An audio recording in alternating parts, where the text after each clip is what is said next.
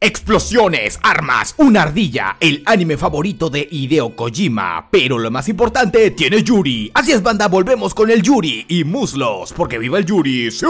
Ahora con todo eso dicho y luego de publicar muchas fotos antojosas en la pestaña de comunidad, démosle inicio a Licorice Recoil. ¡Empecemos! Todo el mundo conoce Japón. Una de las cosas más importantes de este país es que nunca ocurren robos, atentados o asesinatos. Lo contrario a Latinoamérica, claro que sí. Y todo eso es debido a que el el mismo gobierno cuenta con una agencia de jóvenes espías conocidas como las Licoris, que se encargan de eliminar a cualquier individuo involucrado con terrores o peligros para la ciudad de Tokio. Esta agencia se llama la DA y gracias a ello se mantienen la paz y la tranquilidad. Sí, banda, todo muy oscuro y tétrico, pero nosotros por ahora veremos lo bonito y colorido. En eso nos vamos con nuestra primera protagonista, Chisato, una Licoris especial de rango 1 por tener el traje rojo, porque como típica agencia separa a sus agentes por rangos. Hay algunas que usan la ropa azul que son de nivel intermedio y las que son principiantes usan el traje amarillo. Esta chica fue enviada a una misión como apoyo, porque unos bandidos contrabandistas de armas tomaron de rehén a una Licoris. Sus compañeras no pueden salvarla porque quieren esperar órdenes de la agencia hasta que son hackeados y cortan las comunicaciones. En eso aparece Takina, quien por querer rescatar a su compañera llena de plomo a los bandidos, haciendo valer pija toda la misión. Al final logra salvar a su compañera, pero pierden información sobre las armas que se robaron y las posibilidades de que haya un atentado aumentan. Chisato por su parte no llegó a tiempo y solo se retira como un beso en la brisa. A causa de todo eso, Takina es expulsada de la DA y la transfieren a la cafetería Licori Reco, donde se encuentra Chisato, ya que la misma agencia quiere que aprendan de la mejor agente del mundo. Aparte de Chisato, también conoce a Mizuki, una señora de 30 a 40 años que hace de figura materna. Ella era una trabajadora de la DA, pero ahora como está mayor, quiere conseguir novio o ayudar a su amiga Chisato. Y por último Mika, el dueño de la cafetería y el encargado de vigilar a las agentes que trabajan en su café, además de tener muchos secretos que descubriremos más adelante. Todos los altos mandos conocen a Chisato como la mejor agente de las Licoris y Takina tenía grandes expectativas de ella. Además es conocida por detener sola uno de los atentados más peligrosos en la torre de Tokio, la cual la dejó en ruinas. Esto nos aclara que Chisato es toda una experta con los balazos Takina es una chica fría y seria y pensó que Chisato sería igual, pero en lugar de eso solo la vio convivir con niños pequeños, darle de comer a los mafiosos y varias veces se acercó mucho a su cara. Uy, manitos, ya es hora de decirlo. ¡Viva el Yurisu! Bueno, con todo lo que pasó, Takina piensa que Chisato es una inútil y solo quiere volver a la DA. Sin embargo, aparece su primer caso. ¿Recuerdan el robo de las armas de al inicio? Resulta que una chica se tomó una foto cerca del lugar y capturó la cara del líder de los terroristas. A causa de todo eso, los contrabandistas quieren matarla, así que ambas Licoris son enviadas a cuidarla. Más tarde, las Licoris se reúnen con la jovencita y la cuidan en todo momento. Por un segundo, Takina quería acabar con esta misión lo más rápido y usó a la joven como carnada para atraer a los contrabandistas. El plan sale bien, pero Chisato recrimina a la jovencita por hacer actos inmorales. Takina dispara a los delincuentes a matar, aunque Chisato la detiene, y la vemos en acción. Primero, Chisato tiene la habilidad de esquivar balas en el último segundo, tiene excelentes sentidos que le permiten predecir los ataques, y por último, a pesar de ser la mejor agente de la agencia, ella no mata y solo usa balas de un material no letal, que solo desmaya a sus enemigos. Al final salvan a la chica, los contrabandistas son encerrados y la jovencita logra salir del país para que no la sigan persiguiendo, así que más o menos todo terminó bien. En eso nos vamos con un señor misterioso de nombre Yoshimatsu, miembro de una corporación liberaria de nombre Alan, la cual es conocida por tener personas con talentos extraordinarios similares a los de Chisato. Este hombre está muy interesado en ella y siempre la visita de forma contenta. Aquí vemos que Chisato ya conoce a este hombre y lo ve como un tío o un padre, ya que cuando ella era pequeña tuvo un problema del corazón y Yoshi se encargó de su problema. Aunque lo que no sabe nuestra prota es que este hombre hizo su operación por un motivo más personal. Continuando con las misiones, en el día del contrabando de armas, la agencia de las Licoris fue atacada por un hacker talentoso llamado Walnut. Todos piensan que está con los terroristas, aunque después del ataque su grupo lo traiciona y la quieren matar. Entonces antes de que la quileen, busca información de la mejor agente de la DA, Yuri para que le ayude y encuentra a nuestra prota, así que anónimamente Mika envía tanto a Chisato como Takina a una misión de rescate, aunque eso sí, ellos no saben que el hacker que están protegiendo es el que atacó la DA, pero lo sabrán tarde o temprano. Rico. Rico. Ambas chicas se encuentran con el hacker Ardilla, quien trata de escapar con un vehículo. En eso, el auto es hackeado por otro hacker, al cual lo llamaré el Robotín, quien está ayudando a los terroristas porque odia a Walnut. El grupo se refugia en un edificio abandonado y vemos más acción de Chisato. Le lanzan una granada que desvía hacia un cuarto, agarra a un matón y lo estrella. Seguidamente, otro matón le dispara pero esquiva todas las balas, camina como si nada e hiere al matón. Aunque después de eso, Chisato se toma el tiempo de sanar las heridas de sus enemigos, debido a que ella ya experimentó la muerte varias veces y no quiere que las personas pierdan su vida por una estupidez como la delincuencia. El matón al escucharla le dice que afuera los están esperando un buen grupo de matones. Chisato trata de evitar que sus amigos salgan, pero Walnut es llenado de plomo y muere. F por Walnut, manos, F por Walnut. Tanto las agencias como los villanos pensaron que el hámster murió, pero no, al final nos enteramos que todo este plan fue orquestado por Mika, Takina y Mizuki, ya que la única forma de salvar al hacker es que todos piensen que está muerto, y no le informaron a Chisato, porque era probable que ella arruinaría todo. Aquí vemos que Walnut es esta pequeña llamada Kurumi, como la de Day Alive, quien a partir de ahora se une al grupo de Licorice Reco, para esconderse de los terroristas y también los ayudará a encontrar al líder principal de los terrucos. Eso sí, a pesar de que ella trabajaba para los terrucos por obras del guion, nunca se vio cara a cara con el líder, así que lo único que le queda es investigar. Toda esa información, Takina piensa que puede volver a la DA sin problema y van a la base principal para ver lo que dicen. Pero al final los líderes prefieren que Chisato vuelva a la DA ya que la necesitan para encontrar las armas que se robaron los terrucos. Sin embargo, Chisato rechaza su oferta y prefiere quedarse con Takina y sus amigos. ¡Ay, qué bonito es el Yuri, manos! ¡Qué bonito! ¡Uy, qué rico! Takina, por su parte, conoce a la Licorice que tomó su lugar en la DA, esta chica llamada Sakura, quien se burla de nuestra prota por haber sido expulsada. Otra que se burla es Fuki, su antigua compañera. Todos esos comentarios enojan a Chisato y le dice, ¡Aléjense de mi hembra, bitches! Takina al escucharla se siente un poco mal y piensa que jamás podrá remediar su error, aunque lo que no esperaba era que la compañera que rescató estaba muy agradecida con ella, aunque la pequeña se siente un poco avergonzada, porque por su error Takina fue echada. Nuestra prota por su parte estaba autodesmotivada, pensando que si no hubiera desobedecido órdenes de seguro seguiría en la Sin embargo Chisato dice que aún puede seguir trabajando con ella, y no importa lo que piensen los demás, lo más bonito es que se tienen una a la otra. ¡Ah, qué lindo, manitos! ¡Viva el Yuri! ¡Sí! Después de ello, Fuki reta a nuestras protas a una competencia de disparos para ver cuánto han mejorado. Takina por un inicio se sentía desmotivada y deja sola a Chisato, quien fácilmente puede encargarse de las dos, aunque la jovencita decide participar y con un movimiento épico enfrentan a Fuki y Sakura. Takina le da un super golpe a la Fuki, se coloca enfrente de Chisato y dispara sabiendo que esquivaría sus balas. Al final las chicas ganan y Takina decide quedarse con Chisato. ¡Sí! Después en los siguientes días las chicas pasan momentos lindos de novias, como tener una cita para buscar ropa interior, porque una noche Chisato se enteró que Takina usa boxers. En eso ella le obliga a mostrar su ropa interior, y lo hace porque vive el Yuri. Rico. Bien.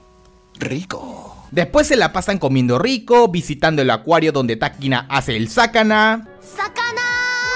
Y se podría decir que todo va bien en la vida de las chicas, aunque al momento de regresar, nuestras protagonistas notan la presencia de varias Licorice, porque resulta que el metro de Tokio iba a ser atacado por un grupo de terrucos, grupo comandado por este peliverde de nombre Majima. Las Licorice entran y atacan, logrando detener el asalto, pero sin percatarse, Majima hace explotar el lugar, acabando con muchas niñas. ¡No! F por las licorice manos, F. Esta fue una gran pérdida para la DA, pero a pesar de eso, solo sacaron los cuerpos de las pequeñas cuyas memorias jamás serán recordadas. Nuevamente lo digo, manos, F por las licorice. Volviendo con las chicas, Kurumi estuvo investigando la foto de la joven del primer capítulo y reconoció a Majima en el contrabando de armas. Pero por ahora solo quiere buscar más datos sobre él. La siguiente misión de las chicas es una de las más divertidas, pero a la vez una de las más turbias. Un hombre lisiado millonario viajó a Tokio para turistear, pero un asesino lo está buscando, así que las Licoris deben protegerlo en todo momento. Aquí nos cuentan un dato sobre Chisato, ella se siente identificada con este señor porque él necesita tecnología para vivir. Ella por su parte tiene un corazón artificial, es decir que tiene un corazón metálico que le permite vivir. Seguidamente las chicas cuidan al viejito, le compran cositas, Takina tocándole el pecho a Chisato,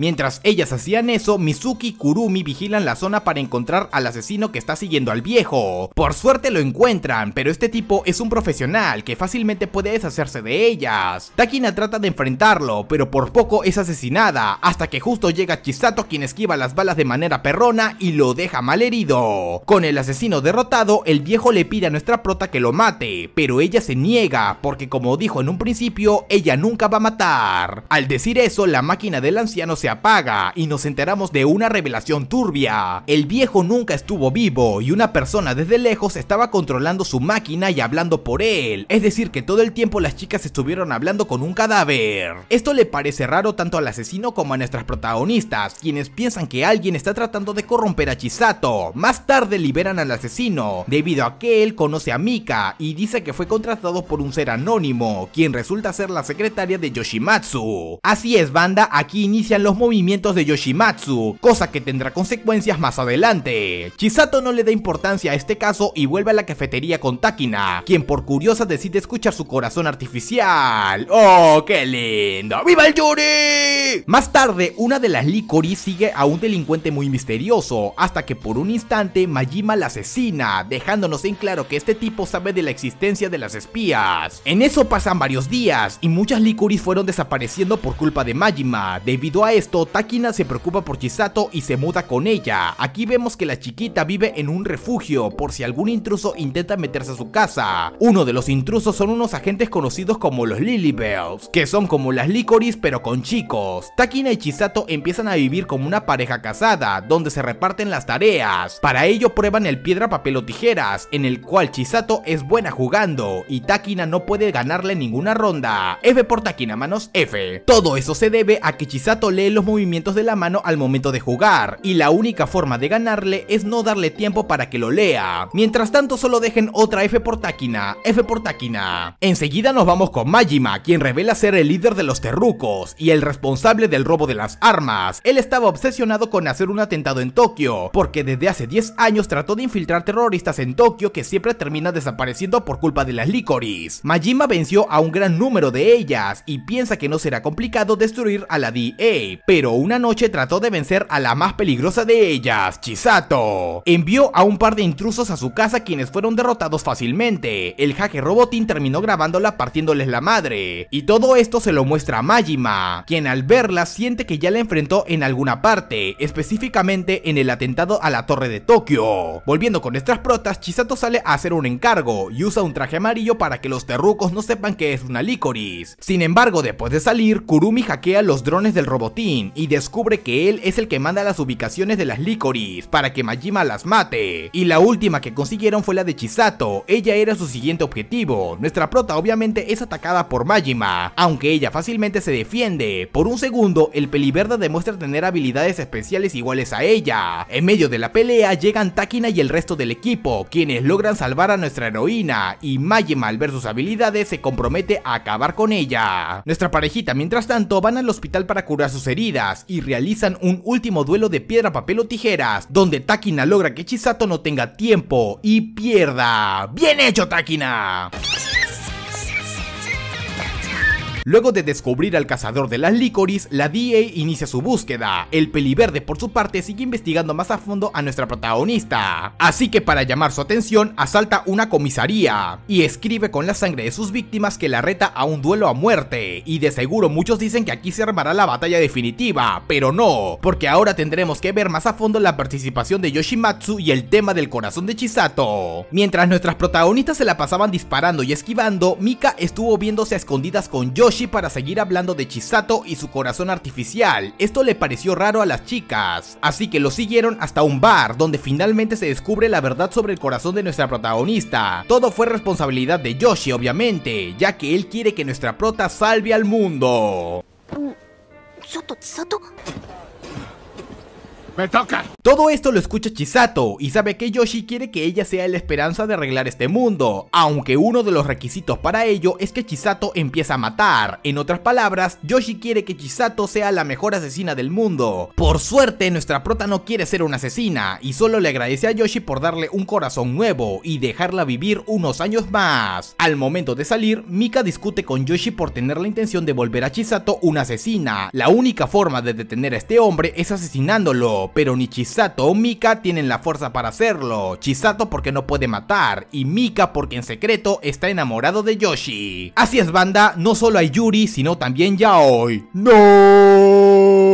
Después de eso, las chicas vuelven a su trabajo normal de Licorice, deteniendo a terroristas y Takina adquiere una nueva misión, ahorrar dinero, debido a que están gastando demasiado presupuesto en las misiones y el café. Primero trata que Chisato no gaste balas o haga mucho desorden, porque arreglar todas las escenas de crímenes cuestan mucho dinero. Después empieza a trabajar tiempo extra, donde Chisato debe mostrar los muslos. Mmm, qué rico banda. Después trabajan como niñera en Halloween y hacen un postre que aumenta las ganancias del café. ¡Wow, Takina! Tremendamente de tiburón. Días más tarde, Chisato tenía que realizarse un chequeo de corazón por parte de una enfermera extranjera, pero justo cuando iba a ir a su chequeo, es sorprendida por Majima, quien observó su habilidad de esquivar balas. Él fue para hablar del atentado a la torre de Tokio de hace varios años, donde varios terrucos murieron por culpa de una niña. Hace muchos años Majima con un grupo de terrucos trató de acabar con la torre, parecía que todo iría bien, hasta que fueron sorprendidos por una pequeña de no más de 6 años, quien aniquiló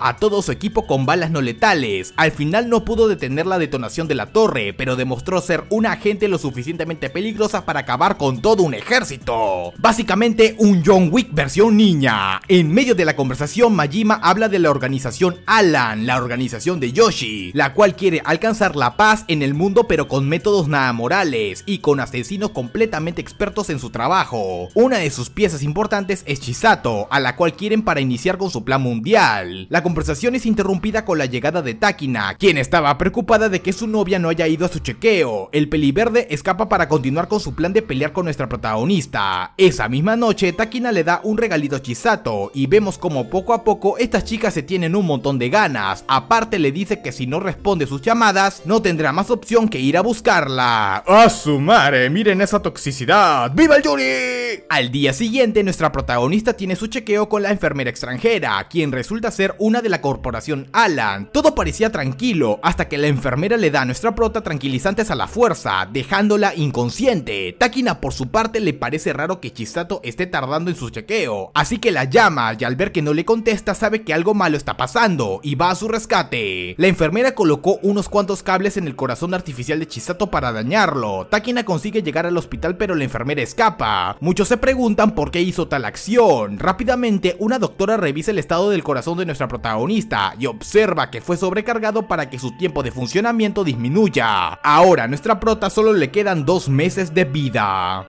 ¡No! ¡Maldición!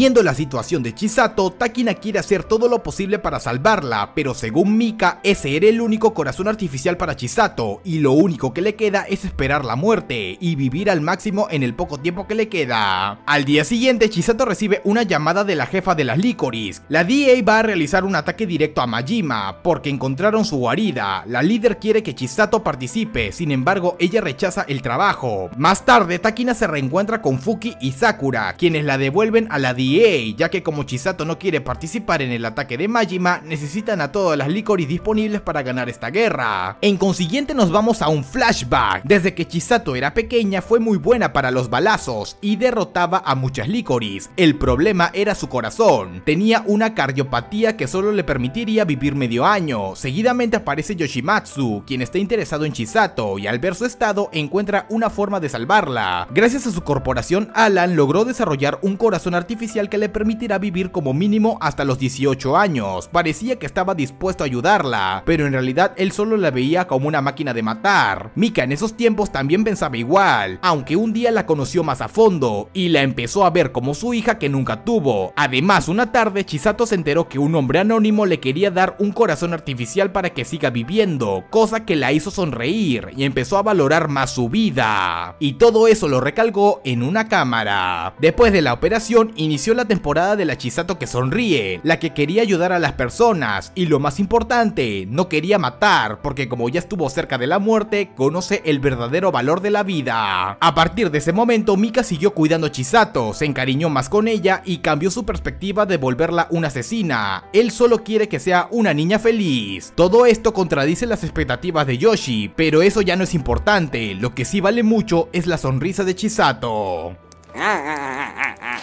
Ah. Oigan, ¿quién dejó aquí las cebollas? Volviendo al presente, Chisato y Takina tienen una última cita para despedirse, pasan por los mismos lugares donde tuvieron su primera cita y podrían haberse besado, pero no. ¡No, pe chicas! ¡Viva el Yuri! Ahora sí, llegamos al arco final del anime. Todo comienza con las Licoris reunidas para partirle la madre al Majima, pero antes de eso, Takina interroga a uno de los ladrones de armas de la misión 1, quien menciona el nombre de la organización Alan, haciéndonos entender que Yoshimatsu y la enfermera están involucrados en los ataques terroristas de toda la temporada. Por el lado de Majima tiene secuestrado a Yoshimatsu y a la enfermera, pero por alguna extraña razón no ponen resistencia. Es como si ya supieran que Chisato los vendrá a salvar. Hmm, estos tipos sí que se ven muy sospechosos. Sospechoso, ¿no les parece? Mientras tanto, en la cafetería, debido a que Chisato ya no vivirá, Licor y Reko cerrará. Así que Mizuki y Kurumi toman la decisión de salir de la ciudad, mientras que Chisato pasa sus últimos minutos con su padre, Mika, le regaló un kimono. Ella se siente hermosa y quiere que la vea Yoshimatsu. Aunque en ese momento Mika le revela sus intenciones pasadas, le dice que quería volverla una máquina de matar, pero él hizo todo lo posible para que tenga una vida feliz, como si fuera su propia hija. Chisato en lugar de sentirse traicionada solo le sonríe al hombre que considera su padre y dice que lo perdona por todo lo que hizo. Segundo después recibe una llamada del hacker Robotín, el cual dice que Majima tiene como rehén a Yoshimatsu y nuestra prota sin pensarlo dos veces va a su rescate en la vieja torre. Para ello deja su celular. Digo todo esto porque es importante, para la trama. El ataque de las Licoris empieza. En el camino la comandante indica todo el plan de la captura. Aparte indica que no puede comunicarse con Chisato y Mika, cosa que preocupa a Takina, quien sale de la operación y se dirige al café para ver a su novia. Las Licoris llegan a la guarida, la cual estaba vacía, y solo encuentran un proyector de Majima, quien indica que atacará la nueva torre de Tokio como ocurrió hace varios años. Esta vez si quieren detenerlo tendrá que venir Chisato. Takina regresa a la cafetería, pero solo encuentra los celulares de Mika y Chisato, entonces se lleva el de su novia para ver si la encuentra en la misión. En ese preciso instante inicia un hackeo por todo Tokio. Majima tomó el control de los televisores para revelarle a los japoneses de que su país no es tan perfecto como creen, ya que en la ciudad hay unas niñas con uniformes que cometen asesinatos y desapariciones. Para ello colocó las mil pistolas que robó desde el primer capítulo, para que cuando los ciudadanos vean a las Licoris les disparen sin pensar. Todo esto expone a las Licoris, quienes ahora son vistas como terrucas. La DA trata de cortar la transmisión, pero el hacker Robotin cortó todas las comunicaciones para que no puedan hacer nada. La cara de Majima se encontraba en todas partes. Nadie se atrevía a acercarse a la torre, nadie podía salir de la ciudad. Mientras todo eso pasaba, Kurumi se puso a hacer sus cosas de hacker, porque desde que descubrió el caso de Chisato, investigó más a fondo sobre los corazones artificiales para reemplazarlo, y encuentra uno mucho mejor, pero está en manos de Yoshimatsu. Con los nuevos datos, rápidamente se contacta con Takina, quien revisa el celular de Chisato, que muestra a Yoshimatsu secuestrado. Como su novia está en peligro, nuestra heroína deja la misión, y lo hizo en un momento preciso, ya que las Licoris llegan a la torre, la cual estaba llena de bombas, y muchas de ellas salen heridas. Chisato llega a la vieja torre, donde habían muchos matones, aunque ella nuevamente nos muestra sus habilidades especiales, y los derrota a todos de una forma perrona. Al final nuestra protagonista encuentra a Yoshimatsu y Majima, con el cual tiene una segunda pelea. En este caso el peliverde tiene la ventaja, ya que su super oído es perfecto para las peleas a oscuras. Parecía que nuestra prota no saldría viva de esta situación, aunque justo suena el celular de Yoshimatsu, eso significaba que el celular de Chisato estaba cerca. ¿Y qué otra persona tendría su celular? Pues ni más ni menos que Takina, así que Chisato hace ruido en un preciso lugar, para que nuestro mujerón llegue de forma perrona. Entre las dos le parten la madre a Majima y lo capturan. Eso mano se llama el poder del Yuri. Parecía que todo había terminado, Chisato perdió su maleta, logró salvar a su héroe, pero justo él le pregunta si mató a Majima, ella responde que no, eso enoja a Yoshi porque siente que está desperdiciando su potencial, sin pensarlo le quita su pistola y la reemplaza con balas de verdad para killear, pero nuestra protagonista las esquiva, en consiguiente Takina se mete en la conversación para hacernos la revelación, más reveladora de todas las revelaciones. Nuestra Licorice Azul ya descubrió que Yoshi es un villano secreto, él estuvo ayudando a Majima para que hiciera sus ataques, mandó a los hackers a la DA y malogró el corazón de Chisato para que no tenga más opción que pelear con su vida. Gracias a la información de Kurumi, Takina revela que Yoshi tiene otro corazón para Chisato. Y sí lo tiene, pero si lo quieren tendrán que matarlo. Todo este plan fue para que Chisato sea la asesina que siempre quiso que sea, pero la buena influencia de Mika y su amor por Takina no le permitieron cumplir su objetivo. En eso ataca a la enfermera, dejando a Takina al borde del abismo. Yoshi le dispara para matarla, así que Chisato no tiene más opción que dispararle con balas de verdad, pero no fueron letales. Con todo lo que pasó, ella comprende que su salvador no es la persona que pensaba, aunque aún así quiere que viva, porque después de todo, la muerte es mala, la vida es buena. Y lo deja escapar con el corazón. Ahora lo único que falta es salvar a las Licorice. Como Majima reveló la identidad de la DA y sus agentes, aparece un señor bigotón, que es el líder de los Licorice hombres, los Lilybells, los cuales reciben la orden de eliminar a todas las Licorice. Nuestras chicas rápidamente son recogidas por sus amigas para iniciar su plan salvar a las Licorice. Kurumi les da un chip que deben conectar en la torre de Tokio. En el camino salvan a Sakura y Fuki de un par de grandulones fuertes, Chisato va al centro de la torre y conecta el chip, el cual muestra un video donde dice que todo lo que vieron fue una simulación de un atentado, y como los japoneses son tontos, se lo creen. Pinche gente estúpida y huevona. Kurumi por su computadora ayuda atrapando al robotín y llama a la policía para que lo encierren. F por robotín, manos, F. Y al final los Lilybell se retiran porque escucharon que Chisato está en la torre y le tienen miedo. Algunos lo miran con cara sospechosa, cosa que pone celosa a Takina. Uy, pobrecita la celosa. Nuestras protagonistas deciden salirse de la torre. Takina se reencuentra con su compañera que salvó en el primer capítulo, la cual le pide disculpas porque la han despedido por su culpa. Aunque Takina por su parte le agradece, porque si no fuera por eso, nuestras protas jamás se hubieran conocido. Mientras estaban saliendo, Chisato se distrae con su mochila que salió de la nada. Resulta que el Majima escapó y volvió para tener su pelea final. ¡Que se armen los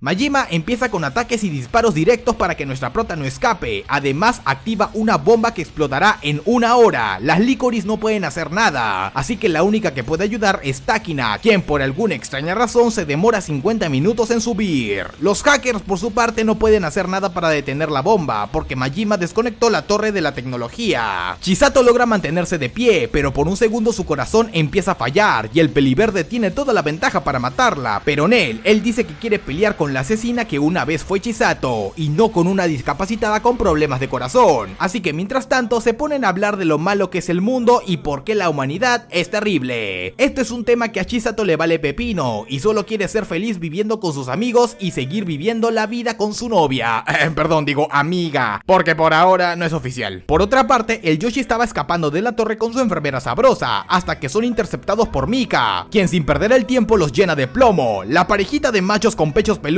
tienen una última conversación. Yoshi se siente arrepentido por tratar de usar a una niña inocente como arma, así que le pide a su amigo que cuide de ella, y entre lágrimas le hacen la morición. F por Yoshimanos, F. Chisato y Majima siguen disparándose plomo a lo bestia, hasta que por un segundo el peliverde lanza el detonador de la bomba para distraer a nuestra prota, y logra darle un balazo por la espalda. En eso llega Takina, quien observa cómo su amiga con derecho se lanza junto con el terruco, al cual le sigue lanzando plomo. Finalmente podemos ver la cara sádica de Chisato, quien destruye el domo de vidrio para caer junto con Majima, pero justo Takina la atrapa con sus hilos, y cuando iba a caer, el detonador llega a cero, y nos enteramos que esta bomba era falsa, haciendo explotar fuegos artificiales. Al final de todo eso nos vamos a un elipsis de lo que pasó después de ese atentado. En las noticias indican que todo fue una simulación de emergencia por la nueva torre de Tokio. Las Licorice siguen trabajando de forma anónima, Mika regresa a los negocios con Takina, Kurumi y Mizuki, los amigos de Chisato están sospechando de nuestras Licorice porque se parecen a las niñas que aparecieron en la supuesta simulación, pero la pregunta más importante es ¿dónde está Chisato? Pues eso lo veremos a continuación. Takina es enviada a Hawái porque hay rastros de un agente bastante sospechosa. Cuando llega la encuentra, pelea con ella y descubrimos que se trataba de nuestra protagonista. Ella nos revela que después de la pelea, Mika logró conseguir el corazón artificial, se lo dieron y mientras nadie la veía, se escapó a un lugar alejado de la tecnología moderna, donde no la encuentren e iniciar una vida sin armas. En eso, Takina le muestra una foto de la jovencita que ayudaron en el capítulo 1, cuyo fondo tenía a la pequeña disfrutando las playas de Hawái. De esa forma, la DA supo dónde estaba. En consiguiente, Takina le da un regalo por parte del difunto Yoshi, el cual Chisato vota porque quiere dejar esa vida de agente en el pasado y solo quiere ser feliz con las personas que ama. Y por qué no darle una última cargadita a Takina, porque vive el Yuri. Semanas después, todo el equipo de Liko Reco se mueve a Hawái. Las Licoris les piden que vuelva, pero Chisato indica que si las obligan será su fin, y todo Licoris Ricoy termina con nuestra protagonista hablando en inglés y con Kurumi diciendo aloha. Aloha. En pocas palabras, el anime nos indica que la vida de Chisato y Takina alejadas de la DA recién comienza y parece ser que nada la separará. Bueno, no tanto, porque en una escena vemos que Majima sobrevivió y parece que seguirá molestando. Fin. Bueno, manos, Licorice Ricoy fue uno de mis animes favoritos del año pasado. El final fue bonito, pero no deja ningún indicio para una segunda temporada. Aunque hace no mucho, la empresa animadora confirmó que están trabajando en una posible segunda temporada. Yo al escuchar eso, solo digo. Bueno, yo voy dejando el video hasta acá, si les gustó dejen su like y compártanlo con sus amigos para que lo vean, tampoco olviden suscribirse al canal con la campanita activada, ahora sin nada más que decir yo me despido, adiós.